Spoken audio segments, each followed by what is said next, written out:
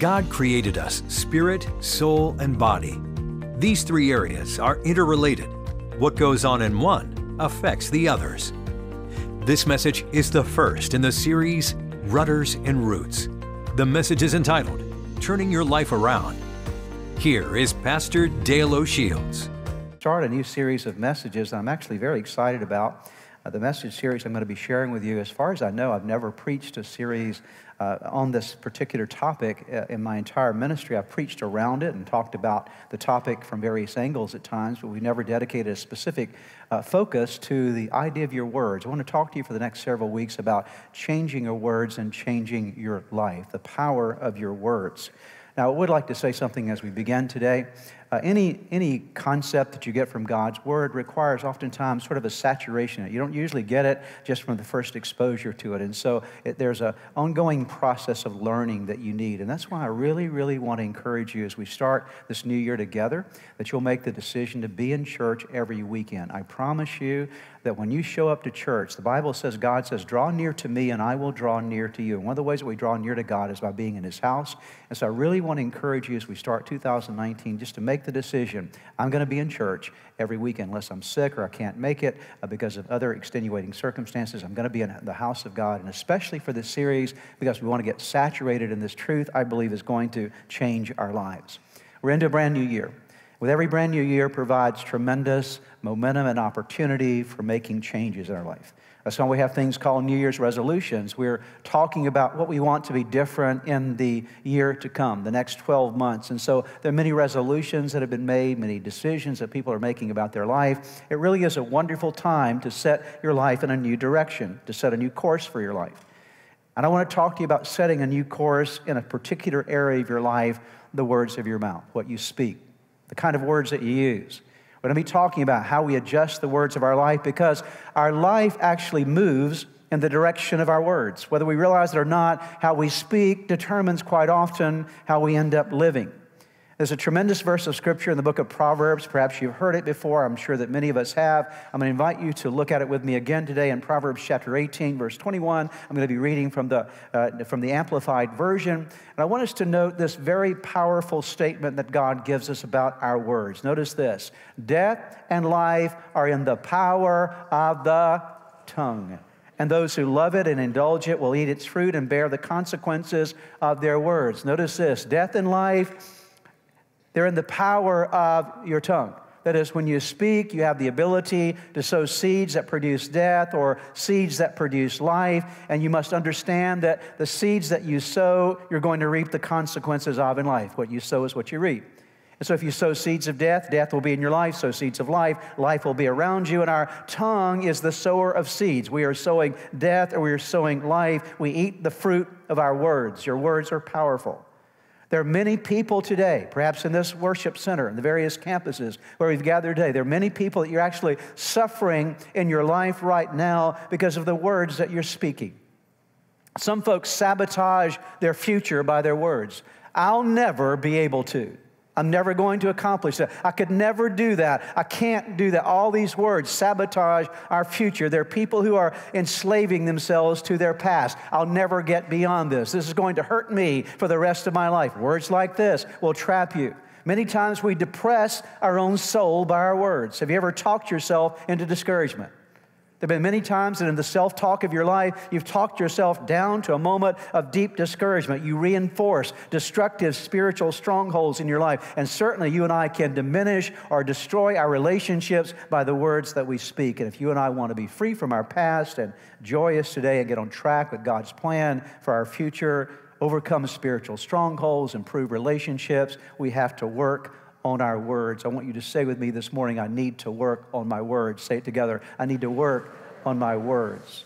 I want to digress just for a moment with a bit of a caveat. As I go through this series, this, this season together, I'm going to talk a lot, obviously, about our words and how we speak, but I don't want you to misunderstand. I'm not saying that you can call everything in life into existence just by speaking it. I'm not I'm not into a theology that's often referred to as sort of the name it and claim it theology, that whatever you name, you get in your life. No, you're not. This is not what I'm talking about. I'm talking about adjusting your words so that you are in agreement with God, so that you're speaking things that are consistent with what God says about you, that your words are consistent with the truth of His word and consistent with the promises of His word. I'm not talking about some kind of set of magical incantations that you go around spouting and thinking that your world's going to get better just because you use magical terms. I'm not talking about that. I'm talking about bringing your words in line with the Word of God, the promises of God's Word.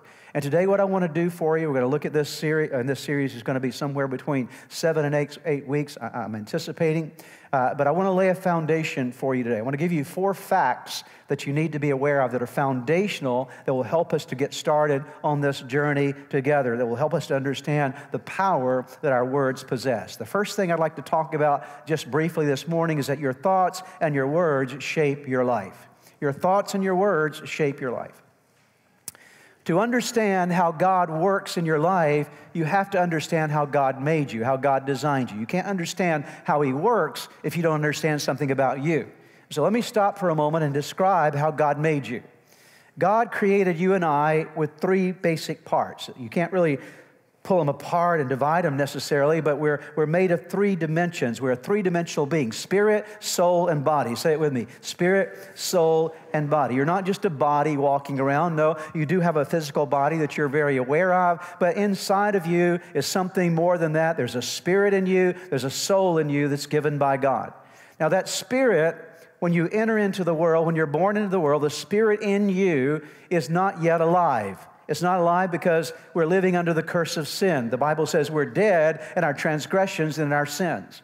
And so when you and I come into faith in Christ, when we come to the point of realizing we're dead in our sin, we need a living Savior to bring life to us. We put our faith in Jesus, the Holy Spirit comes to live inside of us, and we are born again. That there's the life of God, birth is birthed in us, and we, we become alive. The life of Jesus causes us to experience life, and our spirit comes alive unto God. We now have a relationship with God. That's why Jesus said, I am the way, the truth, and the life. And so when we accept Christ, life comes to our spirit. We're born again. Jesus was having a conversation with a man one day by the name of Nicodemus, and Nicodemus was a really good man. He was a man that was morally good. He was doing a lot of things right. He was a very religious man. In fact, he was one of the Pharisees, a very significant, spiritually developed man from the standpoint of his understanding of theology. But Jesus has this conversation with Nicodemus in John chapter 3, verse 7. Notice his words You should not, he says to Nicodemus, you should not be surprised at my saying. What is the statement there? You must be born again. He didn't say, Nicodemus, it would be nice if you were born again. He's saying, if you want to have a relationship with God, this is a necessity in your life. And what I will tell you today is if you want a relationship with God, you need to be born again. You need a relationship with Christ where you come to the place of realizing that you're dead yourself. You need a life with God, and you invite Jesus into your life. And there's this moment that your spirit is made alive in Christ. If you haven't done that, you can do that today. You can leave this place a brand new creation in Jesus. But once our spirit is alive, then as Christ has come into our life, God begins his work in our soul and in our body, okay?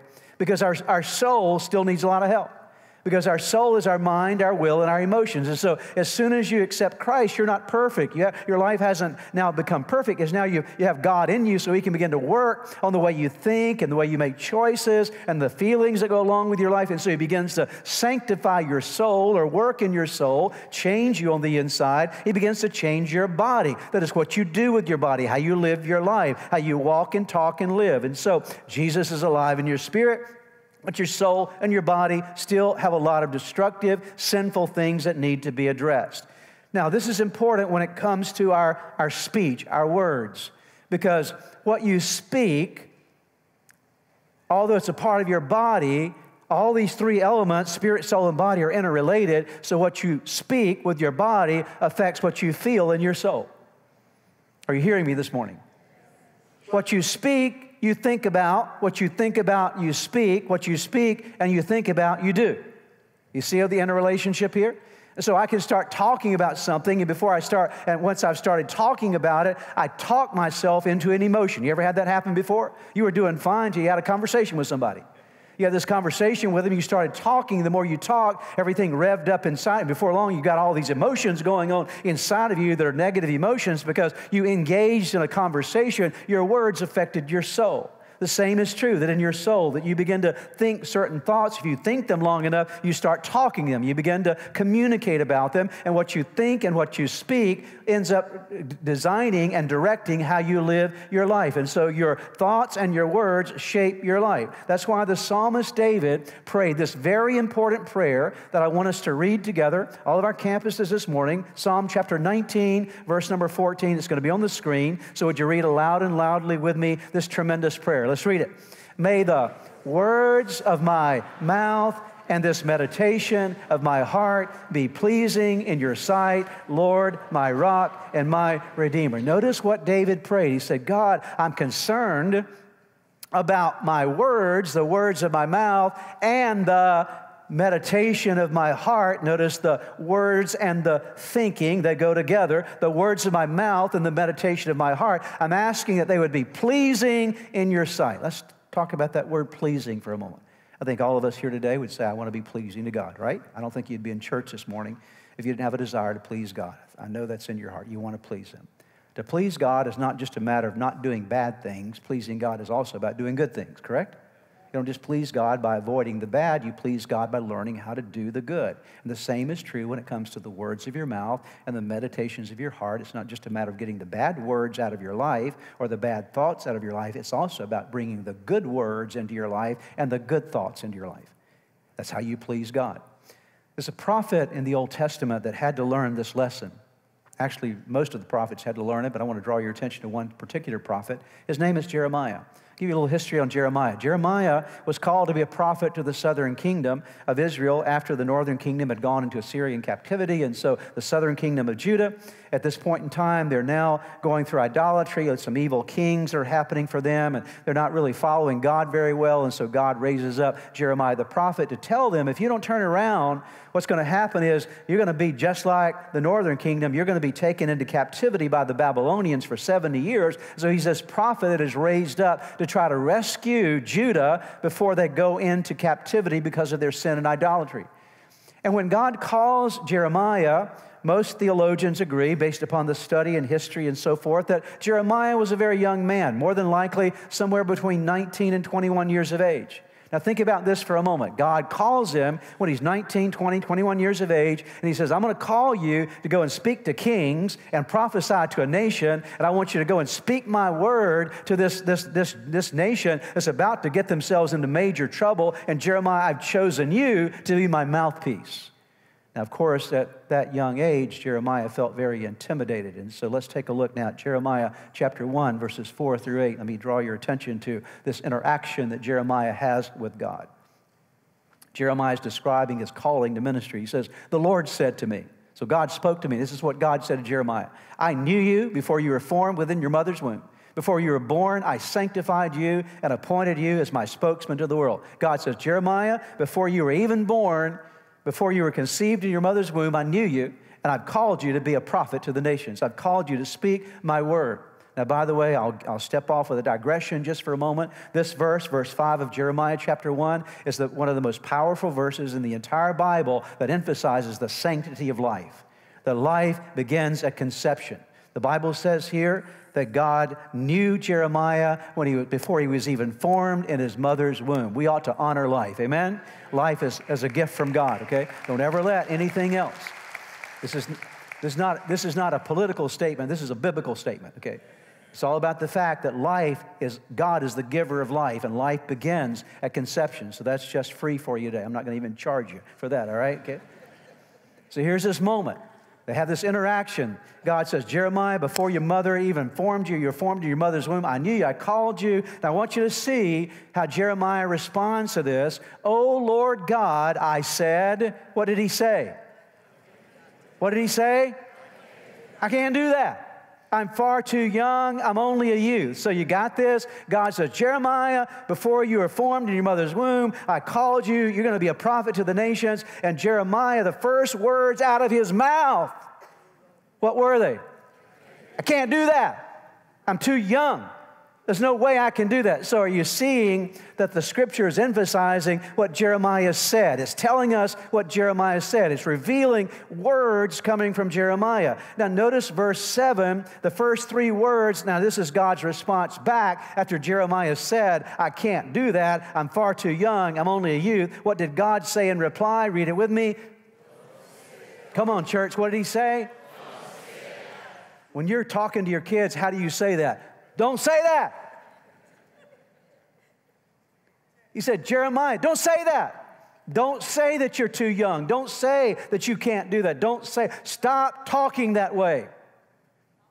Stop talking that way. In other words, God says you're going to mess up your whole future. You're going to mess up your whole destiny by your words. Your words are powerful. In your, in your tongue is the power of life and death. God says, Don't say that, he replied, for you will go wherever I send you and speak whatever I tell you, and don't be afraid. There you see the connection between the words and the emotions, and don't be afraid of the people, for I, the Lord, will be with you and see you through. Here, folks, is what I want you to hear this year in your own life. I hope that from time to time in your day, you hear, you'll hear God whispering to you, if not shouting you, don't say that.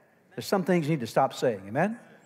Some things you need to change because there's power in your words. And so we see that this was a moment in Jeremiah's life and moments in our life as well. The second thing I want you to see this morning, foundationally, as we start this series together, is that your words are the rudder of your destiny. I'll give you a moment to write that down because I'm going to ask you a question after you've written that down. I'd like to have your, your attention toward me once you've written it down, if you just simply look this way. Where do you want your life to be? Where do you want your life to be in the next 5, 10, or 15 years, 20 years? I'm not talking about where do you want to be physically or geographically, or I'm not even talking about where you want to be professionally or occupation. I'm talking about you as a person. What kind of person do you want to be five years from now, and 10 years from now, one year from now, for that matter? What kind of person? Have you ever stopped to think about what kind of person you really want to be? And what I want you to understand today, this is the biblical truth that I'm trying to get across to us in this series, is that the words you choose, the words that you speak, are setting you in the course for your future and the person that you will actually become, the kind of person that you will be. The Bible says that your choice of words is, are highly responsible for where you end up in life. You say, Are you sure, Pastor? I'm not sure that our words are that powerful. Yes, they are. Notice James chapter 3, verses 2 through 8. I want you to listen to this from the Passion Translation. We all fail in many areas, but especially with our words. Yet, if we are able to bridle the words, yet if we were able to bridle the words, we say we are powerful enough to control ourselves in every way, and that means our character is mature and fully developed. So James says, we, we fail all the time, but most of the time, our failure is related to our words. We fail more with our words, perhaps, than any other thing. Then, verse 3 horses have bits and bridles in their mouths so that we can control and guide their large body. Anyone that's ever been on a horse, you understand this. Horses are massive animals. I mean, muscle upon muscle. I mean, just, just strong creatures of God. And when you get on a horse to ride a horse, there's a bridle that is attached to that horse's head, and there's a bit that's placed in the horse's mouth, and reins that are given to you. And a well trained horse all you have to do is just lightly pull on the rein one way or another, and the bit tells the horse, turn this way. It's controlling the mouth. Everything of that animal is controlled by its what? All that power, all that energy, all those muscles are directed by a bit in the horse's what? Mouth. Are you seeing the importance of the mouth? Let's pick up now the story continuing here. Verse 4. Because he shifts analogies here. And the same with mighty ships. Though they are massive and driven by, by fierce winds, yet they are steered by a tiny rudder at the direction of the person at the helm. And so the tongue is a small part of the body, and yet it carries great power. Let me stop there. So he says, let me shift analogies for you. If you didn't get the horse thing, let me talk to you about ships. Okay? You didn't understand the horse thing. Maybe you've never been on a horse, but let me talk to you about ships now, boats. Boats are directed by a rudder. If you've ever been on a boat, you understand or looked at a boat, any kind of boat has some kind of small element that causes that boat to be turned. It's called a rudder. And when the, when the rudder of that boat turns, a small little thing on the bottom of the boat, when it turns one direction, the boat goes one way, you turn it another way, the boat goes in another direction. And so, again, the emphasis on both of these is something small controls something big. You got it? So, small bit controls a horse, Small rudder controls a boat. So it's something small that controls something very, very large. Let's continue on verse 5. Just think of how, how a small flame can set a huge forest ablaze. So now he's given another illustration of a spark or a flame. And the tongue is a fire. It can be compared to the sum total of wickedness and is the most dangerous part of our human body. You know what the most dangerous thing in your body is? Not your hands, not even your mind, not even your, your, your feet. Your most dangerous element of your body is that thing that sits in the middle of your face that wags at people around you, that has all the bacteria associated with it. It's called your tongue. It's the most dangerous thing in your body.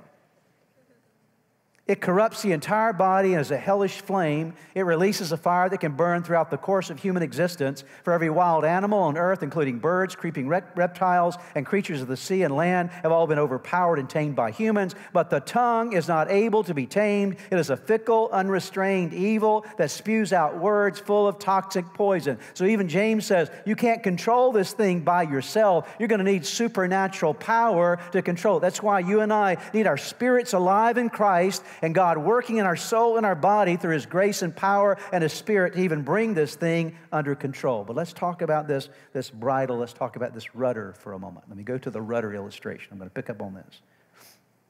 Every boat, every ship to move forward has to have propulsion. Okay that propulsion, if you have a, a just a, a, motorcraft, just a, a, motorcraft that you use for like skiing or those kind of things, many times they're inboard motors, and so they have sort of a jet propulsion associated with them. Others are outboard motors, have propellers associated with, but there's something that propels them forward. It gives them power to move forward. A sailboat, the wind is the propulsion factor, but you can't move a boat without some kind of energy, some kind of propulsion. Okay, but you also have, to have something that provides direction to the power. There are many people in life that have, they're, they're charged up, but their rudders aren't working, okay? And they're wondering why they're crashing their life over and over again. They crash marriages, they crash relationships, they crash jobs, they crash all kind of things in life. They crash their future, they crash their relationship with their kids, they crash all kind of things in their life because they've got the energy, they're moving, but there's no proper rudder, or the rudder is directed in the wrong way. And so what's happening, the rudder is what? Your what is it? Your, your mouth, okay? And so you have to understand that you can have all the power in the world and be very excellent at whatever you do and powerful and strong and capable and all those things. But if your rudder is amiss, if your mouth is not working correctly, you're still going to crash. It's not going to be the you're not going to get where you need to get. And so to get to your destiny in life, you not only need good propulsion, but you need a good rudder that sets your direction. And the Bible speaks of the fact that our words are actually setting the direction of our life, changing our course and changing our condition. Your mouth is taking you somewhere. Turn to your neighbor and tell them your mouth is taking you somewhere. Go and tell them that. Your mouth is taking you somewhere, right? You guys didn't seem too excited about saying that. That's all right, okay. Number three. Third fact today when you change your words, you change your life. The key word there is the word change. Two times in your notes there, you'll see that word change. When you change your words, you change your life. Change means to make different, it means to alter, to replace one thing with another, to make a shift, to have an exchange. Something happens that is different. I'll give you this analogy. If you're in a car at nighttime, the dark of night, and you're heading down a highway and you're barreling down that highway, and you don't realize that as you get further down the highway that you're going to get to a place where there was a bridge, but the bridge has been washed out and there's flood water that's flowing through there, and you don't realize that it's there, but you're barreling down in the darkness. Would you appreciate someone flagging you down before you got to that point and saying, Stop, turn around? Would you appreciate that? Of course you would. Of course you'd appreciate Oh, thank you so much for telling me that I need to turn around. I didn't realize I was headed toward a precipice, I was headed toward real danger. Well, this is why this series is so important because God has an amazing destiny for you. God has an amazing purpose for your life. Every one of you here, every one of you here, God has an incredible purpose for your life. But so often, if our words are not correct, if we're speaking way, in ways that are inconsistent with God's word and God's promises and God's will, actually what's happening is we're barreling down through life and we don't realize we're about to crash somewhere. We're not headed toward the destiny that God has for us because we may have the energy, the propulsion, but we don't have the right direction. And so we need to make a change. And this series is all about how do we do that? How can we come to this point of turning things around? Jeremiah, again, the prophet in Jeremiah 7, verse 3, he speaks to Judah. They're headed down a pathway toward destruction. And God speaks and says, This is what the Lord of armies, the God of Israel, says change the way you live.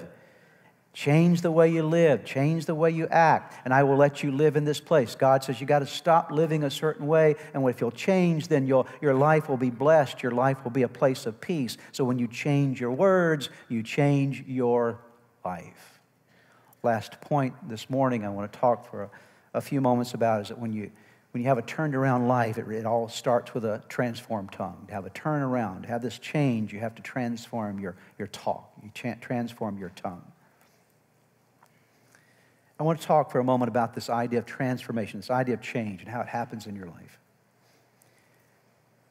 I think all of us, since about probably the last week of December into the first week of January, and I'm sure you'll see it for the next couple of weeks as well, you've probably seen lots and lots of uh, commercials on television about weight loss. Anybody seen lots of those commercials, right? Okay. I mean, every diet in the world is out there now, okay? You got the keto diet and the non keto diet and the, I don't know, the all these other diets you got everybody's promoting something okay out there in terms of how to lose weight okay? Because everybody wants to make a decision this year about their about their bodies their weight loss and those kind of things all these commercials are there. But have you ever noticed that on these commercials that they always they always have people telling you their story right okay? And it's usually with some kind of imagery and the imagery is uh, first of all them before they lose weight okay? And then them what so before they lose weight, they're all crammed into these clothes, you know, everything's bulging out everywhere, okay? And then after they lose weight, they got all these big pants that they're holding up beside them like this, and you know, they're, they're standing in one leg of the pants, right? Okay, okay, it's like, right? You with me, right? Now, why do advertisers do that? Why do marketers give you a picture of before and after? Why? They're actually only doing what the Bible says. Without a vision, people perish. If you don't have a vision, if you can't see what you want to be, then you're never going to be it, okay? So change in life never happens just by, I'm going to get disciplined. You never wake up one day and say, I'm just going to lose weight. No. You wake up because you have a vision of what you want your life to be. Are clothes you want to get into. There's a way you want to look. There's health that you want in your body. And so there's a vision that motivates you to discipline. Discipline never motivates you to vision. Vision motivates you to, to discipline. Are you hearing me? Okay. So you have to have a vision first before you're going to be disciplined enough to say no to some things that you need to say no to and yes to some things that you need to say yes to. But it starts with, with a vision. And so what I want to do today is I want to give you a vision of what your life can be if you'll change, if you'll transform your words. Anybody ready for a vision this week? Something that you can carry with you that'll say, that's what I want to be. I want this to be my life. And so we're going to build this, this idea of what a vision is for us as we move toward our future. And on your notes, you're going to see eight statements. I'm going to invite you to read them together with me. And let's take a look at the vision that God has for your life and the vision I believe that you want for your life as well. Let's just envision for a moment what your future could be. What if, read number one, what if the person, read with me aloud and loudly, what if the person you truly want to be as a follower of Jesus became a reality? What if? Just think with me for a moment. What if that person you really want to be as a follower of Jesus, you want to be strong and you want to be victorious and you want to be alive in Christ, you want to be used by God? I believe that's you. What if that person that you want to be really became a reality? What if six months from now and a year from now or five years from now, you are way stronger than you are spiritually right now? You're the person, you're moving into that person that God wants you to be and that you really want to be. Number two, what if, read together with me, what if the fruit of the Holy Spirit became more of a norm in your life. Wouldn't that be a good thing? What is the fruit of the Spirit? Write down Galatians 5:22. Love, joy, peace, patience, kindness, faithfulness, gentleness, self-control. All these are nine fruit of the Spirit that are listed there. I don't think I think I listed eight, but there are nine of them that are there. Nine fruit of the Spirit listed. Wouldn't, wouldn't it be awesome if you had more love in your life? Wouldn't it be awesome if you had more joy, more peace, and more patience, and kindness, and faithfulness, and goodness, and gentleness, and self control? What if, just what if, you had a lot more of the fruit of the Spirit in your life than you have right now? Would that be a good thing? Would that be the kind of person you'd want to be? Come on, church, say amen, okay? That's, that, that's the vision, okay? That's who I want to be. I want to be a person that's, that's emanating the fruit of the Spirit in my life. It's flowing from me. It's who I am. There's more of that in my life. Number three, what if? Read together with me. What if? Read this one really loudly. Here you go. What if fewer things stressed and worried you? Would that be a good thing? Would it be a good thing if fewer things stressed you out and fewer things ever worried you? I'm going to bring this back to our words in a few moments, but would that be a good thing for your life? Is that who you want to be? Somebody that is less worried and less stressed. Number four, what if, read together with me, your future was more promising and exciting than it has ever been in your life. Just what if you were looking towards your future and you thought, my goodness, I can't wait to get there because my future is so exciting. I can't wait for all that God's going to do. I believe that my best is not behind me. I believe that my best is in front of me. I'm going forward with enthusiasm into my future. What if you believe that? If that was really in your heart and really in your life, what if? What would that do to your life? Number five, what if? Read together with me. What if past guilt, shame, and pain were healed and you were more wholesome, healthy, and whole? Would that be a good thing? Would it be a good thing if your, your guilt was gone and your shame was gone and your pain, your emotional pain was gone and you were more wholesome and healthy and whole? Would you like to be that person? Man, I'm preaching hard. You're not helping me out this morning. Come on, help me out, okay? Number six, read with me. What if relationships in your life dramatically improve. Would that be a good thing? What if your marriage got better? Would that be good? What if your friendships got better? Would that be good? What if your relationships at work all got better? What if every relationship in your life improved over the next six months, the next year, the next five years? Would that be a good thing? Number seven, what if, read with me, your capacity and skills in every area of responsibility in your life increase? What if you got better at everything you do? Everything you do, you got better at. You got better being a dad. You got better being a mom. You got better being a husband. You got better being a wife. You got better in your job. You got better being a friend. That every part of you, you got better at doing everything that you do. People look and say, What happened to him? I don't know, but he sure got better. Okay. Would that be a good thing? See, this is what God wants for your life. Last one here. You ready? What if, read with me, what if you operated your life in faith rather than fear, would that be a good thing? Just what if, okay?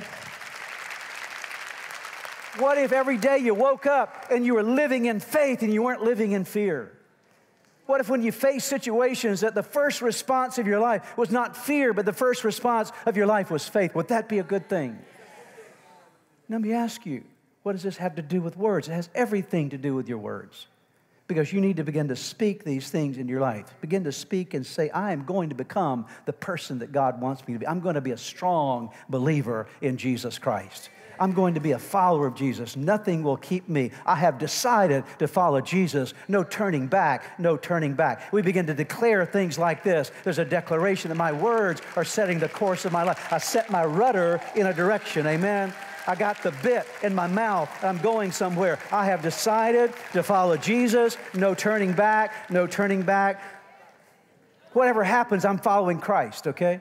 I'm going to be a strong follower of Jesus. And so your words begin to set the course. I'm going to be a man of love. I'm going to be a man of peace. I'm going to be a man of joy. I'm going to be a man of gentleness and faithfulness and kindness. I'm going to be a man of self control. I'm going to be a man, you just fill in our lady, whatever your case might be. This is who I'm going to be. You begin to declare that this is the person that I'm, de- I'm determined to be in my life. Your words are setting the course of your destiny. I- I'm going to stop worrying about stuff because God is able to handle everything in my life. I'm not going to let these things stress me out anymore because God is bigger than every problem I have. I'm going to begin to, speak into my life the confidence, the assurance of who God is. I'm sure uh, He is capable and able of handling everything in my life. And so instead of living in fear and worry or worry and stress, my future is going to be great. I'm believing that what is before me is phenomenal, that God has plans for my life. I'm not going to live in my past any longer. I'm not going to let what has been d- determine what will be and what's going to be in in my life. The past guilt and shame is gone. That's in my past. My relationships are going to be better. I'm going to pour into my relationships love and kindness and gentleness and goodness. I'm going to pour my life into the relationships I have with other people. I'm going to get better at everything that I do. I'm going to study. I'm going to learn. I'm going to be teachable. I'm going to gain information. I'm going to be setting in the direction of saying, This is who I want to be. I'm going to get better at everything I do. Whatever I'm doing now, if it's this level, in a year from now, it's going to be at that level. In five years from now, it's going to be at that level because I'm going to get better at everything I do. Those are the words of my mouth. I'm setting my rudder. Are you hearing me today? I'm setting my rudder, okay? I'm setting the course of my life. I'm not going to live in fear because I have a God who has capability of handling everything and perfect love drives out fear from my life. God didn't give me the spirit of fear, but of power and love and of a sound mind. So I'm going to walk in faith and confidence in who God is because I'm setting the rudder of my life, okay? Are you hearing me today? There's power in your tongue, the power of life and death in your tongue. I'm not talking about some phony baloney and magical thing. I'm talking about using your rudder, okay? To set the course of your life and say, this is, this is who I'm going to be. This is where I'm going with my life. I challenge you are you ready to change? Are you ready to put a bit in your mouth? Are you ready to make the decision to say, God, I'm going to begin to adjust the rudder of my life? Because I know if I'll adjust the rudder of my life, I'll discover the purpose and, the, and experience the divine destiny that you've ordained for my life. Would you bow your heads together with me as we pray? Father, thank you so much for your word this morning. As we begin this year together, we want to set the rudder of our lives in the right direction. Lord, our tongue is our rudder. I pray that something today that we've heard would resonate deep within us and stay with us, Father. I pray we would, over the next several weeks, build on this. I pray that there would be a momentum in our lives, would truly change the course of our lives, our destiny. I pray that the words of our mouth and the meditations of our heart would be pleasing in your sight. Lord, our rock and our Redeemer. In Jesus' name.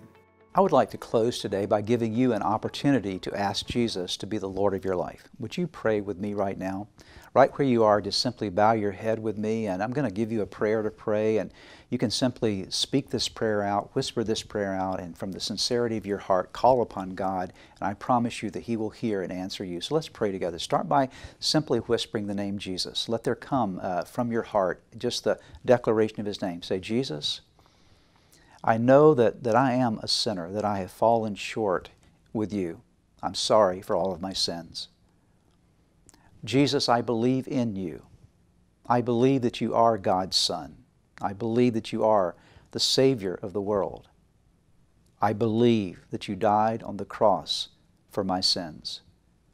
And I believe that you rose from the grave, that you are alive today. Now pray these words. Say, Lord Jesus, come into my heart. Come into my life. Forgive me of my sins. Give me a new start in you. I commit my life to you. In Jesus' name, amen.